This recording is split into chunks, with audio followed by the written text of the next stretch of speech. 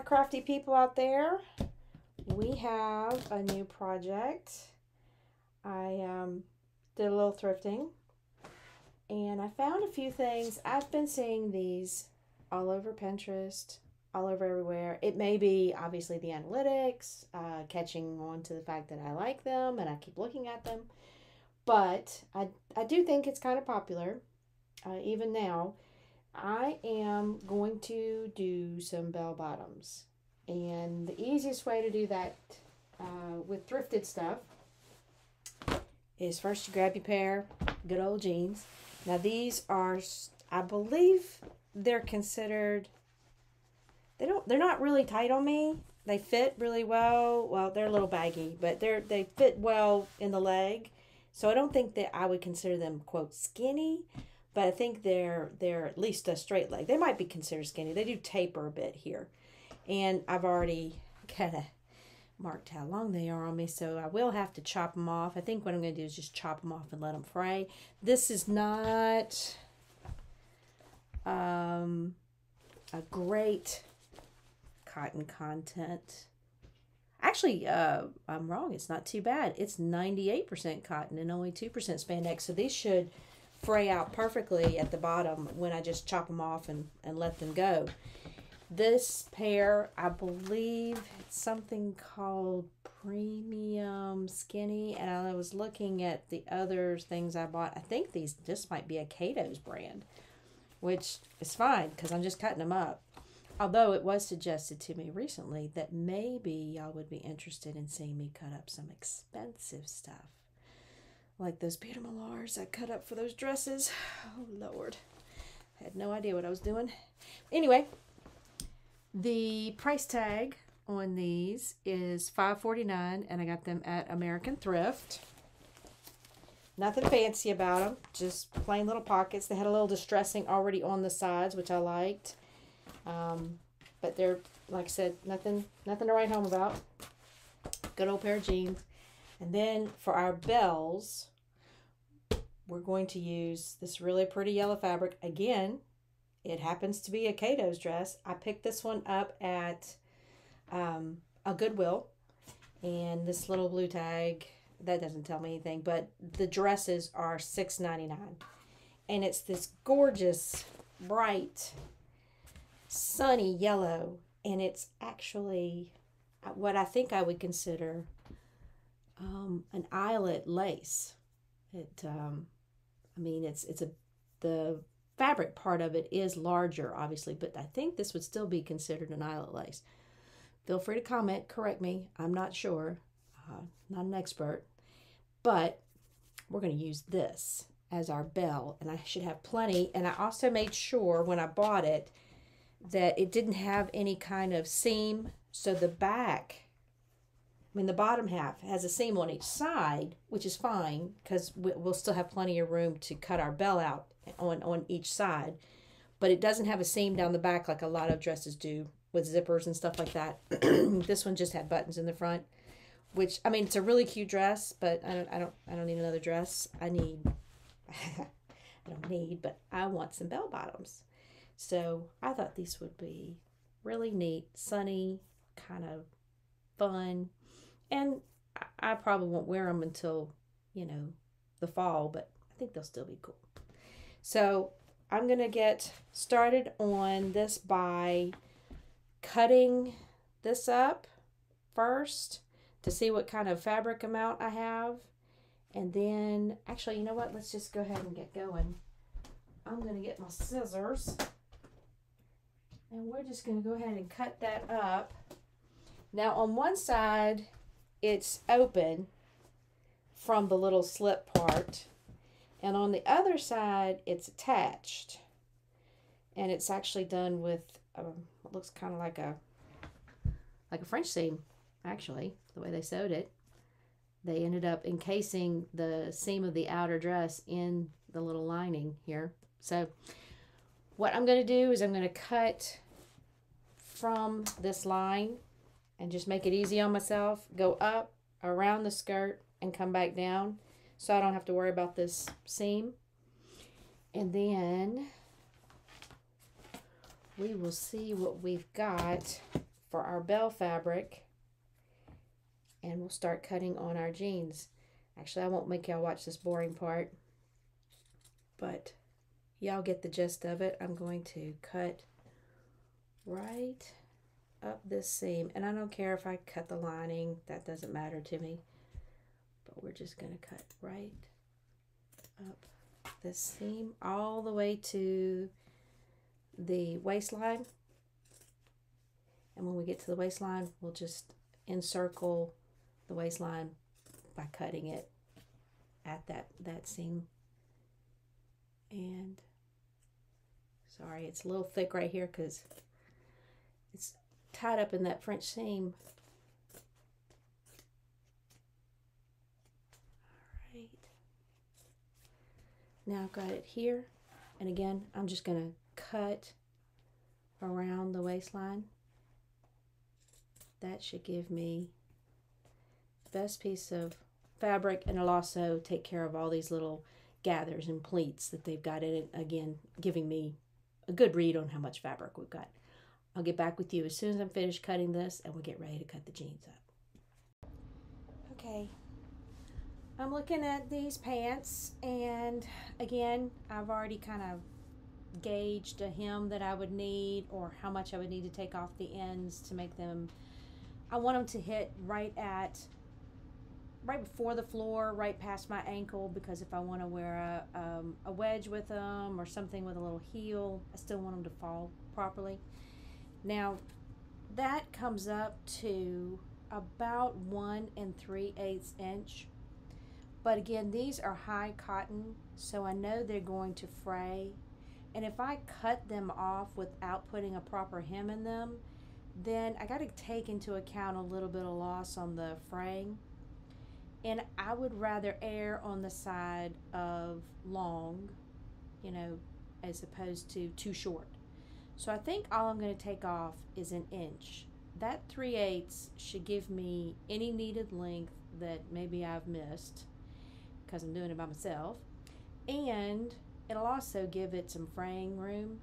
So you can get a, a little bit, maybe a quarter inch of fray out of it and it not harm your length. And of course, you can always trim the fray. So, yeah, no harm there. So I'm going to cut these off uh, one inch off of the ends of them that to get them to the length I want. And again, I'm not hemming them. I'm just zipping across those babies so they um, they can fray. And then I also went ahead and I cut my skirt up off my dress and I ironed it just to get a good feel for how much I've got. And I, I have plenty I mean, even at the short end of this fabric where the waist was on the shorter piece, uh, I've got a little over 17 inches, almost 17 and a half inches.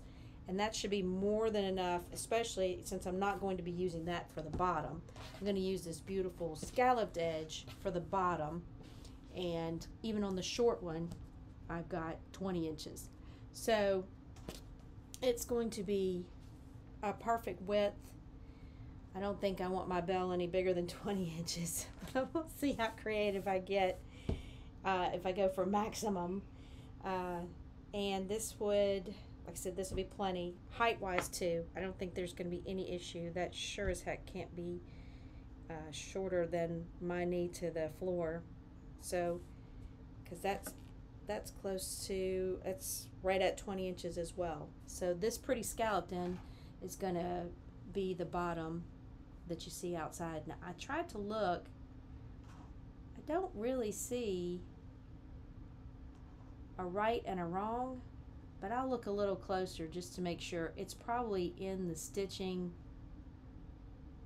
maybe around the centers here that will tell me right from wrong and I think it I think it has actually because if so this that that's is a good thing to save your seam right here. As it's folded in right here that would mean this is the wrong side. And on this side the stitching is just more it's more of a little zigzag on this side than it is on this. This has a little more detail. So I think that's how I'm going to tell right from wrong. Is going to be iffy. But if somebody's looking at my looking at my legs that close, they ain't looking for the stitching. So I think we'll be fine. Okay, I've marked it with a pen, which it makes it kind of hard to see. But this is about, it's right below where my knee is. And I think this will be plenty of flare. I've measured this. This is about 17 inches altogether to the bottom from this point. But I thought it might be easier for y'all to see it. So 17 inches down, as you'll see, there's the, there's the pin right there. So I'm going to split both of these up the side, up to that 17 inch mark. So let's mark this one.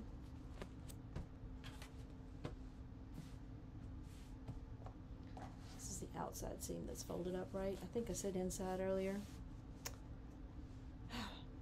Meeting the challenge, I swear.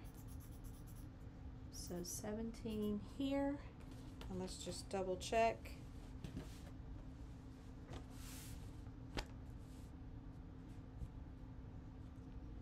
Seventeen here. Yeah, making sure. Don't want to have any accidents. That's the good thing about doing this with thrifted stuff, obviously you can uh, you can really do a lot of creative stuff without a whole lot of expense worry. I'm just making sure that those two are lined up. Well, it would help if they were on the right side together. But point is, lined up my my end of my jeans to that point. Now, we're to do, again, get two pin cushions. I can't remember to do that. We're to split up the side, and that's the side I've marked, this the outside. Just right up that seam. We're not doing anything fancy. We're just to split right up that seam. And I'm to try, well, this particular seam has been opened. I'm going to try and hook my scissors underneath one of the sides. And I'm thinking, I think I'm going to put the bulky part of the seam to the back of the jeans. So this is the front, this is the back. Just just for aesthetics, I guess. When I sew it together, I don't want anything bulky in the front. I could clip that seam out altogether, but I don't think it's necessary. So I'm just gonna, I'm gonna try and be really careful and keep it as close to that seam as possible. That's a good thing about working with denim as well. It's a pretty easy fabric to work with. I mean, you usually need to get you a denim needle in your machine, but it um, it's not hard to work with. All right, this is gonna be a big bill. Pretty excited actually.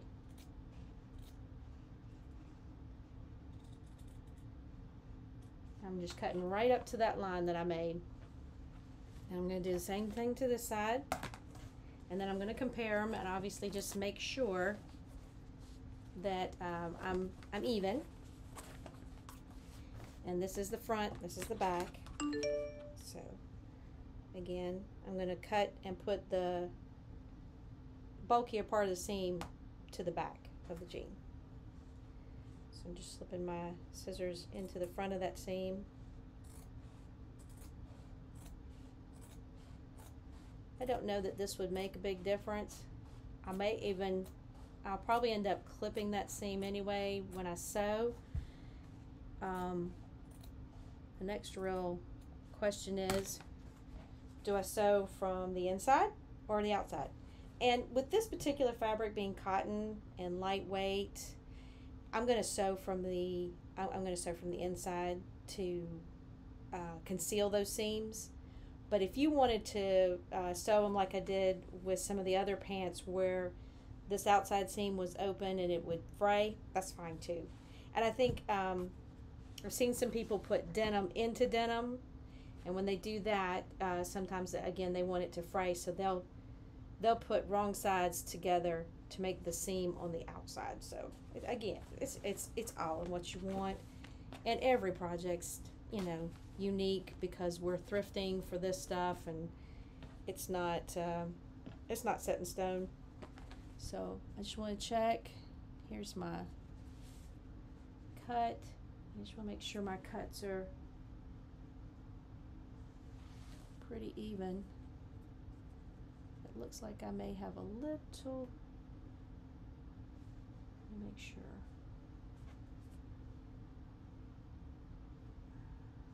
Try to get these points together. Nope, I think we're good.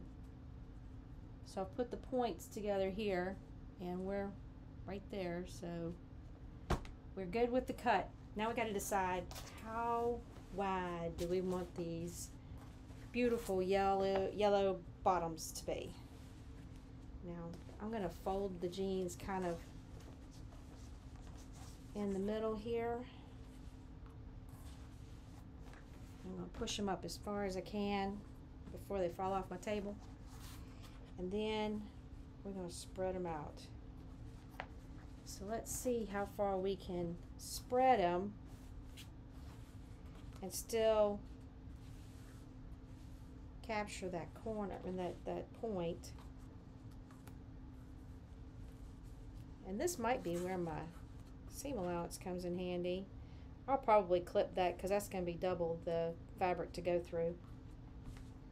So just kind of wiggle it and try to get it into position. Now if I take it from here and I just go from corner to corner right here I'm looking at one, two, three, four, five, six, seven, eight, nine, 10, 13 inches. Okay. That's a pretty good bell. 13 inches. And then let's send, let's send that ruler up. In the middle, if I'm just going to the point, I got 15 inches here. So I want to add a half inch, obviously, for my seam allowance, you know, a, a, probably a quarter inch seam. So let's get an idea how we want to draw this out or how we want to do this. We don't have to we don't have to make a pattern per se, but it's always good to have uh, a drawing so, look at my crazy notes. So essentially we're going to do a triangle. And we're going to, let's just draw us a triangle. Nothing fancy.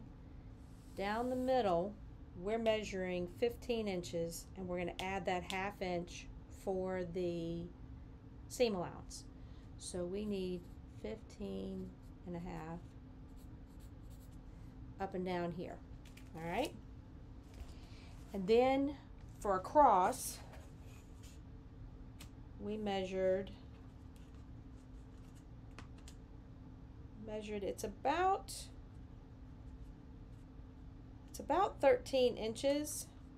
If I measure from this seam to this seam, which is, I want to, I want to get as much width out of it as possible. So we're going to add half inch there too. So for this bottom, we need 13.5 inches there too. Now, the only other thing we've got to measure is this length. Might be easier to measure this one. And it is right at 16 and 3 quarters. 3 quarters. So, actually it's about 16 and a half. Well, we'll go with 16 and three quarters. So,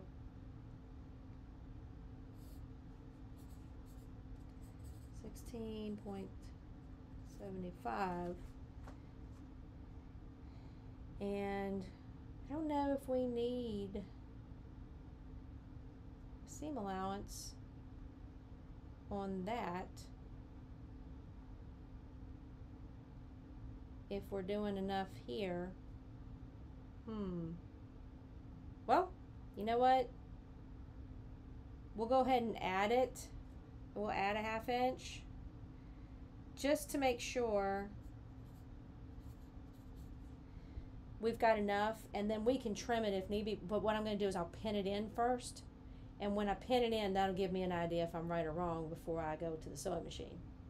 So what I'm going to do is I'm going to cut these this triangle in these dimensions out of the yellow fabric and then we're going to start well I'm going to pin it and if it works we're going to sew it. So rough sketch for this particular pair of jeans. I measured the width between the two seams where I really want to have that bell going out. The height between the point and the end of the hemline. And then the sides that I'm going to need. So this would be the approximate triangle I need to create. I'm going to go do that and we'll get back when we're pinning. I'm going to take a quick moment to show y'all what I'm doing with this fabric to cut it in a triangle. I've put them wrong sides together, the two pieces, and then I've folded them in half. So, well, in half according to the shortest piece. And I've tried to line up my scallops so you know, little makes it a little easier. So now that I've folded it in half, I'm going to place my scallops, the edge of my scallops, on a line here where I can just see the the measuring line below those scallops or in between those scallops I should say and that kind of gives me you know, an even edge because this one's not really even. Of course, I could cut it. And then I'm also lining up my fold on one of these other um, grid lines. So I know that I need 15 and a half inches height, right? So, make our life easier. I'm going to go from this grid line that goes right underneath these scallops up to 15 and a half inches which is about right here okay? So I'm going to take my good old quilting ruler the one with the edge. I need to give y'all what that one is. And I'm going to put it right there at that 15 and a half. I'm going to check it again just to make sure Yep, that's 15 and a half right there. And I'm going to cut across the top. I Always want to measure twice before you do the cutting because you know you can't can't go back. Adding's a lot harder. So I'm going to take the old rotary and I'm cutting off the top. Oop. Need a new rotary blade. Have to get that out. So now I have the, and you can see it from here, 15 and a half inches of fabric. That's our height. Now we know, let's get our scallops lined up again. So I like that option.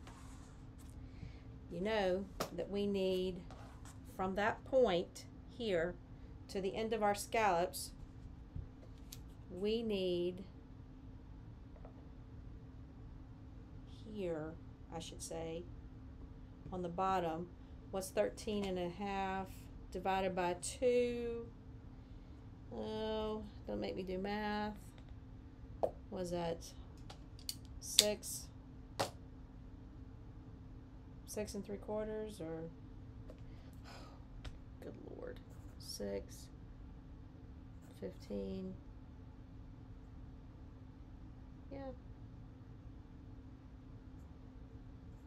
six and three quarter. Woo! Did miss math in my head. If I'm wrong, y'all can nail me to the wall in the comments. But I think I should be okay. Anyway, what I'm going to do is I'm going to cut from that corner over here.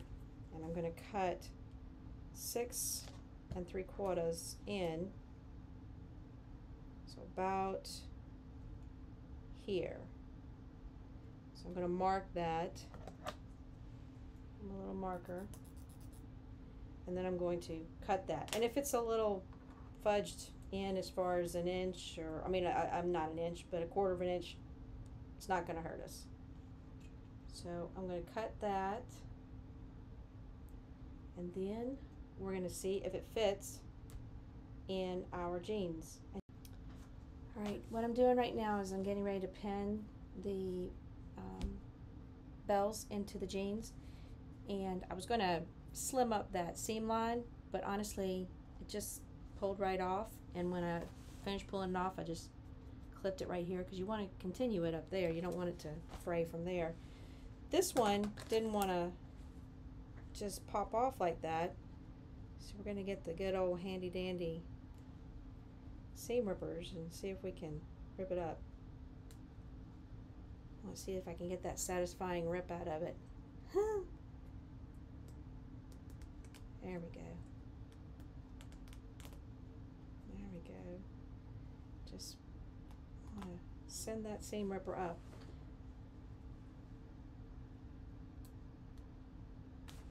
Come on. Catch. There we go. That is so satisfying. I have no idea why. Probably because I'm usually plucking seams. Alright, when I get up here to the top where the point is, I'm just to clip it at an angle. And that just keeps it up there. So it's not to fray any further because we're to actually use that to uh, hold our bell in. We're to seam it into that, that point. Now I do see where it would be beneficial to make a paper template or something like that. If you wanted to to be careful obviously more careful than I am usually with the uh, sizing of your bell.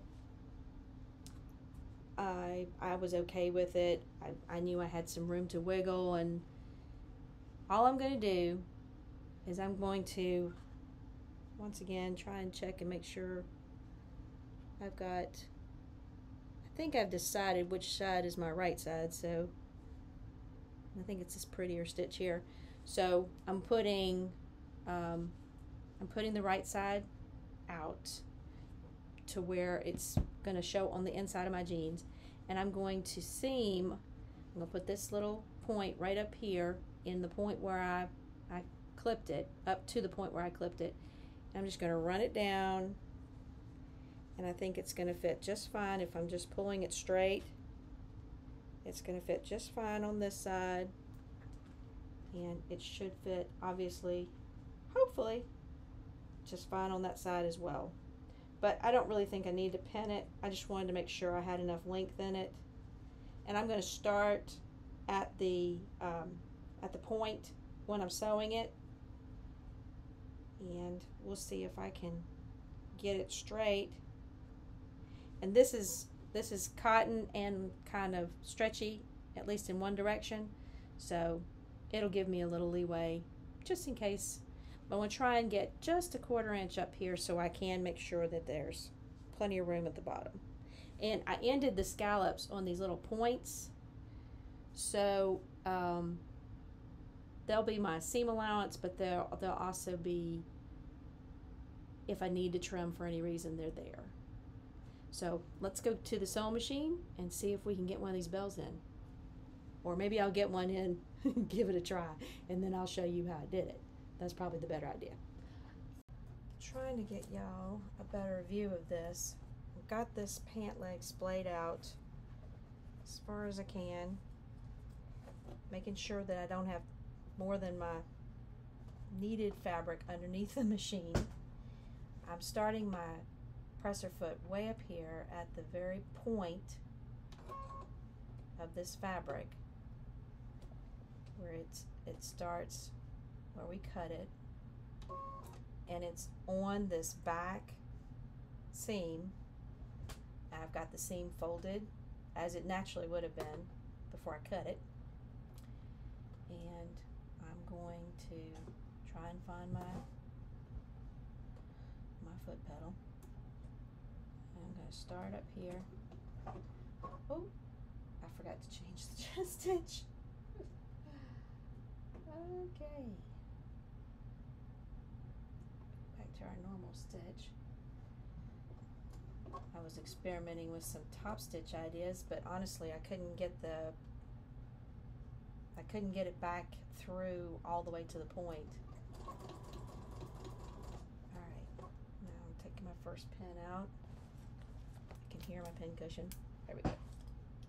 And I am just going down again, trying to keep a quarter inch. I can feel the back of the, you know, the, the jean right there underneath my finger. That helps me make sure that I'm catching both pieces of fabric. Um, just want to keep going.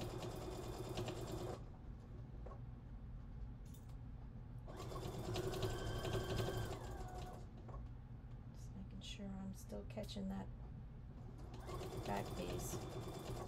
The first seam is the easiest one because obviously you're not having to get into the leg. Or well you don't have to get into the leg but you're dealing with a little more fabric on the next seam.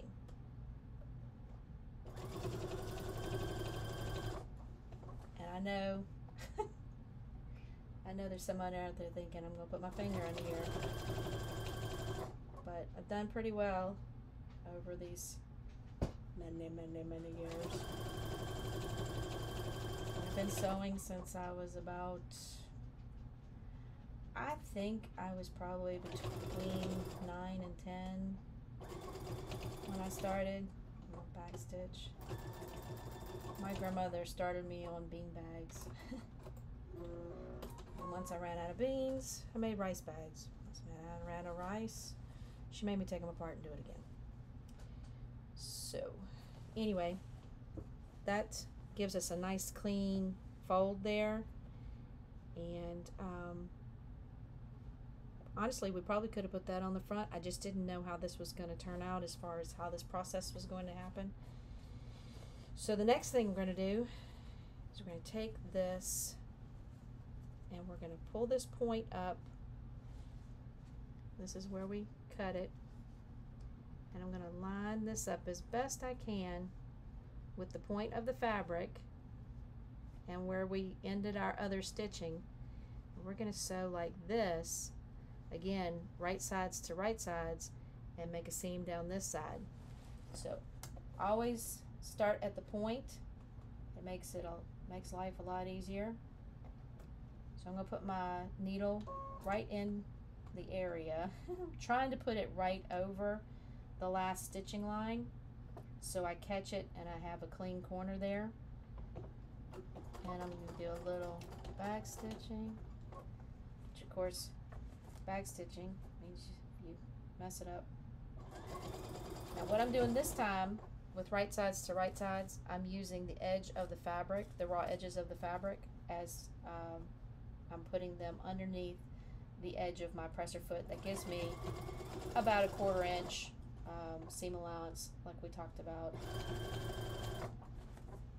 You just got to keep making sure you're not catching anything extra. You don't want to be seam ripping if you don't have to. This would be one of those pluck and pull kind of seam rippings. I don't think it would rip very easily. Just keep that going.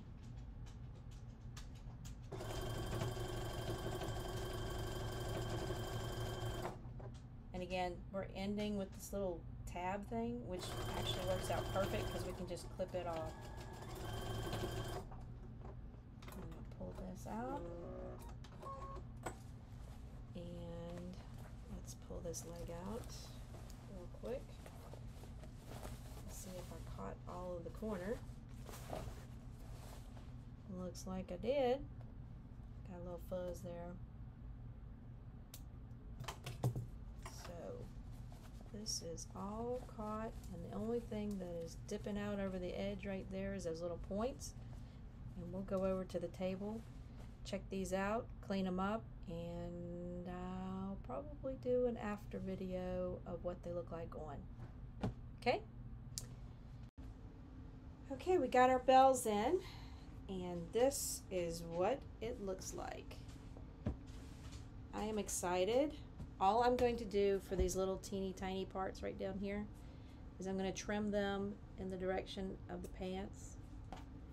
And it really just kind of goes along with the curve of the um, scallop. So that was a perfect ending for those particular little pieces. Just clip them off and clip this one off. And now we don't have that little hangover. They lined up perfectly. And I think they add a really cute flair to these pants. Now, I know I've worked with lace pants and a couple of different pair and this pair and they're just I think they need more work, honestly. Either some kind of bleaching, embellishment. So I'm going to work on these a little more, but I wanted you to see how cute the bells came out. And um, I have plenty of the fabric left over that I may be able to do something funky uh, just kind of tie it in or put some more buttons on stuff. The tricky part about doing it at this point is that if I do anything to these pockets, I'm either hand sewing or I'm going to take the pocket off. And this satin stitching is a booger to take off. I mean, I could just take the pocket off completely. I've done that on some shorts, but I like my pockets. I use my pockets because all I carry is a cell phone with me. I don't carry a bag of any kind. So I need my pockets. And um, so that's that's the crux of that. But I will see if I can figure out some kind of embellishment and I'll do some more posting on it later and even some more embellishing on the two uh, lace pants. But as far as the bells go, I think they turned out really super cute. And I will try them on and do a little short for y'all. All right? Thanks again for watching. Please like and subscribe, and I appreciate all of your support. And I love it when y'all let me know if you've got better ideas or new ideas or, or anything constructive. I'm trying to get louder. anyway, y'all have a great one, and I'll see you on the next project.